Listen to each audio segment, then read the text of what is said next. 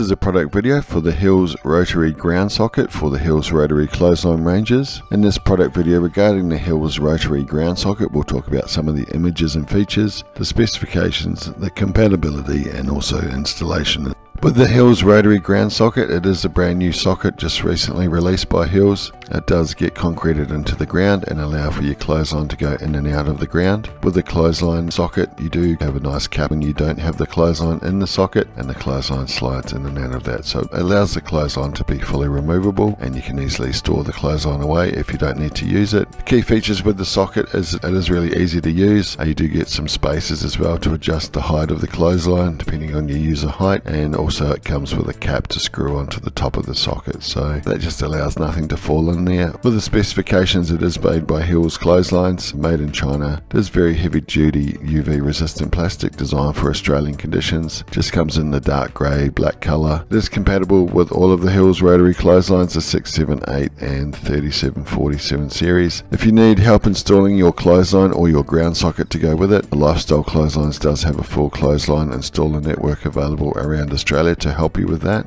And all of the products purchased through Lifestyle Clotheslines come fully backed by a 100 day happiness guarantee. If you have any questions at all regarding the Hills Rotary ground socket, please feel free to call us at any time on 1300 798 779 or visit online at lifestyleclotheslines.com.au.